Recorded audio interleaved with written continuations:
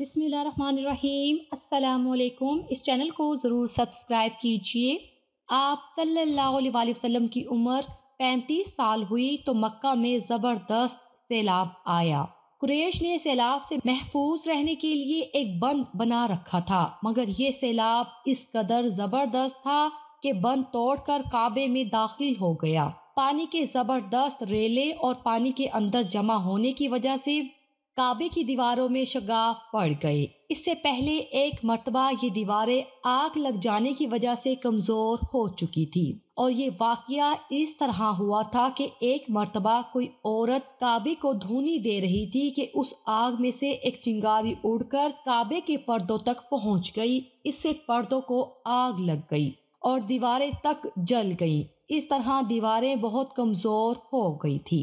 यही वजह थी कि सैलाब ने इन कमज़ोर दीवारों में शगाफ कर दिए। हज़रत इब्राहिम अलैहिस्सलाम ने काबे की जो दीवारें उठाई थी, वो नौ गज ऊँची थी उन पर छत नहीं थी। लोग काबे के नजराने वगैरह लाते, ये नजराने कपड़े और खुशबुओं वगैरह होती थी। काबा के अंदर जो कुआँ था, ये सब नजराने इस कुएँ में डाल दिए जाते थे। कुआँ अंदरूनी हिस्से में दाएँ तरफ़ था, इसको काबे का खजाना कहा जाता था। काबा के खजाने को एक मरतबा एक चोर ने चुराने की कोशिश की, चोर कुएँ में ही मर गया। उसके बाद अल्लाह ताला ने इसकी हिफाजत के लिए एक सांप को मुकर्र कर दिया। ये सांप कुएँ के मंडेर पर बैठा रहता, किसी को खजाने के नज़दीक नहीं आने देता था। कुरेश भी इससे खौफ जदा रहते थे। अब जबकि काबा की दीवारों में शगाफ पड़ गए और नए सिरे से इसकी तामीर का मसला पेश आया। तो अल्लाह ताला ने एक परिंदे को भेजा, वो इस सांप को उठा ले गया। ये देखकर कुरैश के लोग बहुत खुश हुए। अब उन्होंने नए सिरे से काबा की तामीर का फैसला कर लिया और प्रोग्राम बनाया कि बुनियादें मज़बूत बनाकर दीवारों को ज़्यादा ऊँचा उठाया जाए। इस तरह दरवाजे को भी ऊँचा कर दिया जाएगा, ताकि काबे में कोई दाखिल ना हो। सिर्फ़ वही शख्स दाखिल हो जिसे वो इजाज़त दें। अब उन्होंने पत्थर जमा किए। हर कबीला अपने हिस्से के पत्थर अलग जमा कर रहा था। चंदा भी जमा किया गया। चंदे में उन्होंने पाक कमाई दी, ना पाक कमाई नहीं दी। मसलन तवाइफों की आमदनी, सूद की कमाई, दूसरों का माल गजब करके हासिल की गई दौलत चंदे में नहीं दी। पाक कमाई उन्होंने बिला वजह नहीं दी थी। एक खास वाकया पेश आया था, जिससे वो इस नतीजे पर पहुँचे थे कि इस काम में सिर्फ़ पाक कमाई लगाई जाएगी। वो वाकया यूँ था कि एक कुरेशी सरदार अबू वहाब और उमर बिन आबिद ने जब ये काम शुरू करने के लिए एक पत्थर उठाया तो पत्थर उसके हाथ से निकलकर फिर उसी जगह पहुँच गया, जहाँ से उसे उठाया गया था। इस पर कुरेशी हैरान और परेशान हुए। आखिर खुद वहाब खड़ा हुआ और बोला, ए ग्रोह, कुरेश काबा की बुनियादों में सिवाय पाक माल की कोई दूसरा माल शामिल मत करना। बैतुल्ला की ताबीर में किसी बदकार औरत की कमाई, सूद की कमाई या ज़बरदस्ती हासिल की गई दौलत हर गिज शामिल ना करना। ये वाहिद नबी करीम सल्लल्लाहु अलैहि वसल्लम के वालिद हज़रत अब्दुल्ला का मामू था और वो अपनी कौम में एक शरीफ आदमी था। जब कुरेश के लोग खाना काबा की तामीर के लिए पत्थर ढूंढ रहे थे तो उनके साथ नबी सल्लल्लाहु अलैहि वसल्लम भी पत्थर ढूँढने में शरीक थे। आप सल्लल्लाहु अलैहि वसल्लम पत्थर अपनी गर्दन पर रख कर ला रहे थे। तामीर शुरू करने से पहले कुरेश के लोगों ने खौफ महसूस किया कि दीवारें गिरने से कहीं उन पर कोई मुसीबत नाजिल ना हो जाए।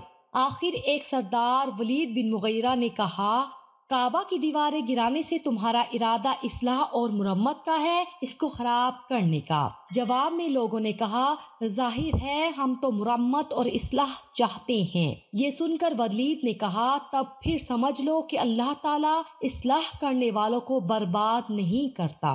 फिर वलीद ही ने गिराने के काम की इब्तदा की, लेकिन उसने अभी सिर्फ़ एक ही हिस्सा गिराया था कि मालूम हो जाए कि उन पर कोई तबाही तो नहीं आती।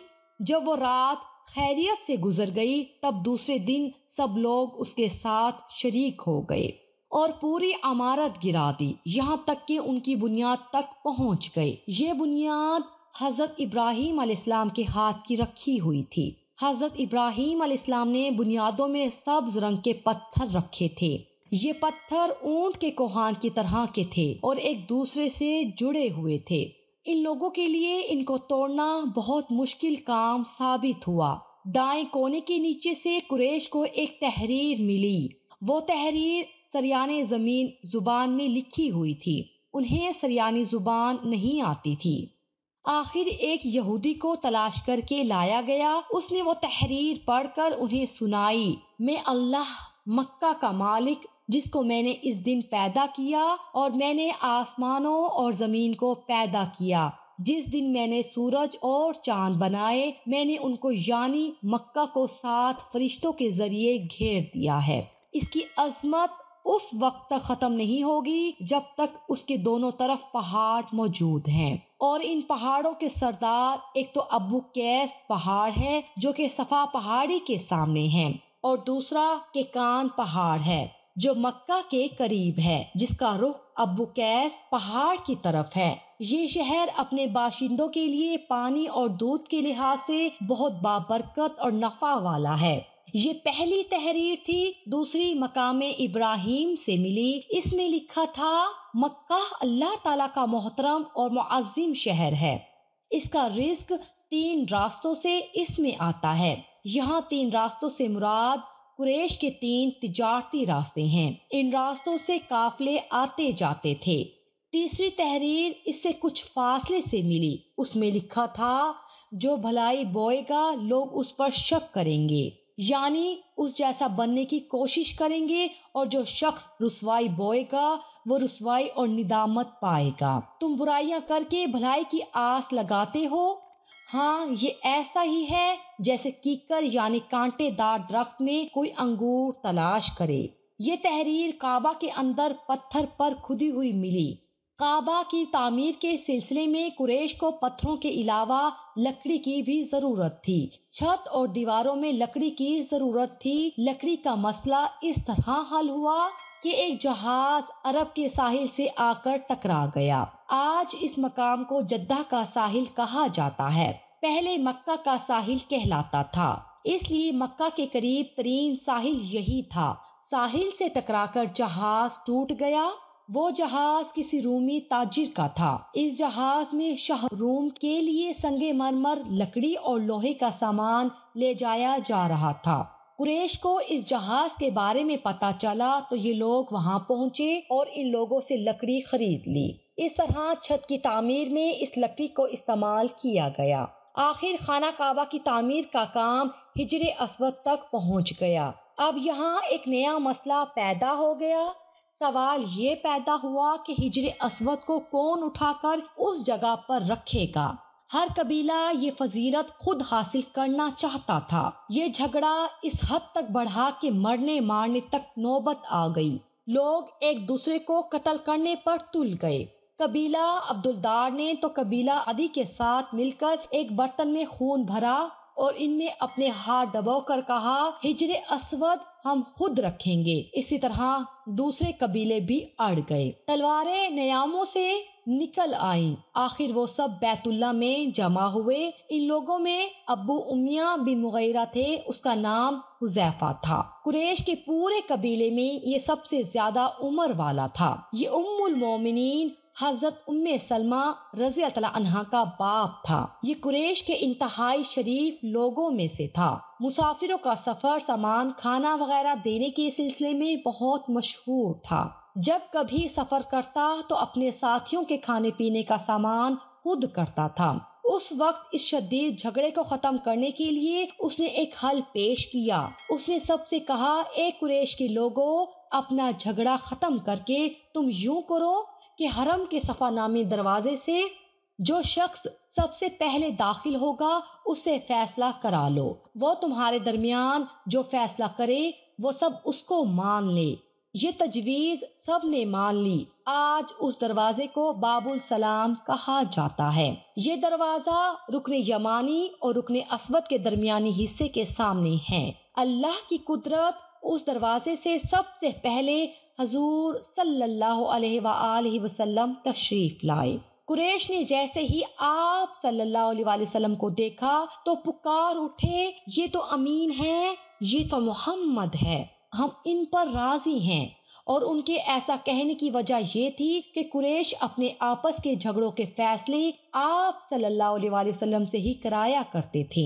आप सल्लल्लाहु अलैहि वसल्लम किसी की बेजा हमायत नहीं करते थे, ना बिला वजह किसी की मुखालफत करते थे। फिर उन लोगों ने अपने झगड़ों की तफसील आप सल्लल्लाहु अलैहि वसल्लम को सुनाई। सारी तफसील सुनकर आप सल्लल्लाहु अलैहि वसल्लम ने फरमाया, एक चादर ले आओ। वो लोग चादर ले आए।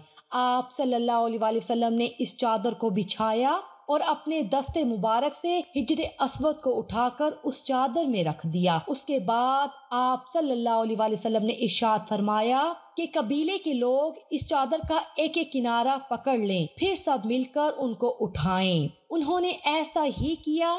चादर को उठाते हुए उस मुकाम तक आ गए जहाँ हिजरे असवद को रखना था।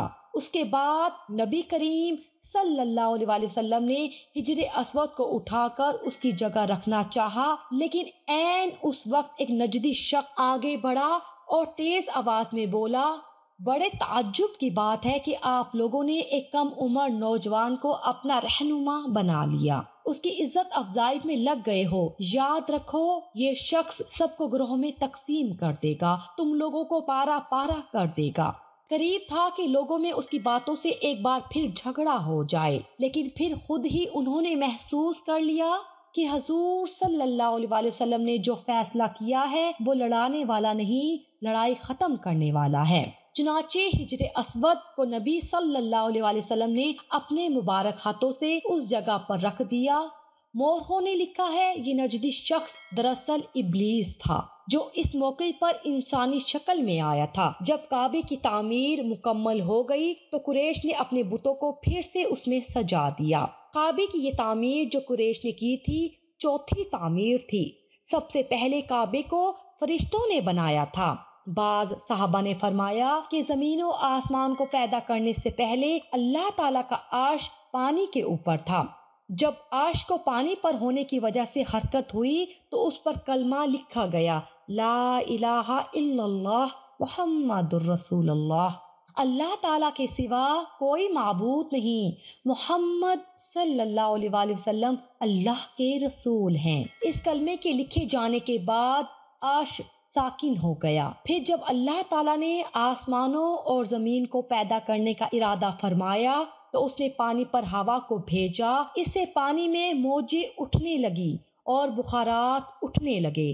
अल्लाह ताला ने इन बुखारात यानी भाप से आसमान को पैदा फरमाया। फिर अल्लाह ताला ने काबा की जगह से पानी को हटा दिया। जगह खुश्क हो गई। चुनाचे यही खुश्की भरते भरते सात बड़े आज़म बन गए। जब ज़मीन ज़ाहिर हो गई तो इस पर पहाड़ कायम किए गए। ज़मीन पर सबसे पहला पहाड़ अबू कैस है। फिर अल्लाह ताला ने फरिश्तों को हुक्म दिया, फरमाया, ज़मीन पर मेरे नाम का एक घर बनाओ, ताकि आदम की औलाद इस घर के ज़रिए मेरी पनाह मांगे। इंसान इस घर का तवाफ करे, जिस तरह तुमने मेरे आश के गिर्द तवाफ किया है, ताकि मैं इनसे राज़ी हो जाऊँ। फरिश्तों ने हुक्म की तामील की।